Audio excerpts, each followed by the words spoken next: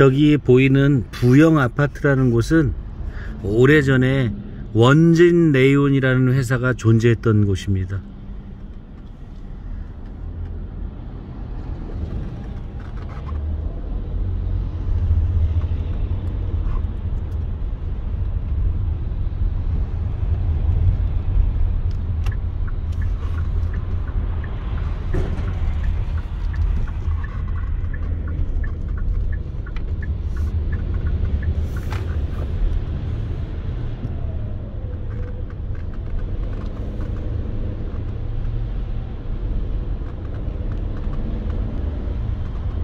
도로가 정말 지저분합니다.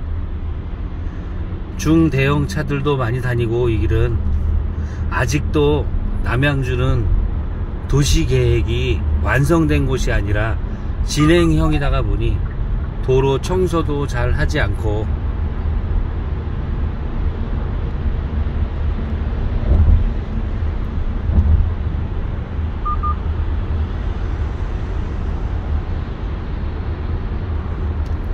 얼마 전 터널에 화재가 났지요. 찌개차가 불이 나서 지금 이런 그런 위치입니다. 이곳은.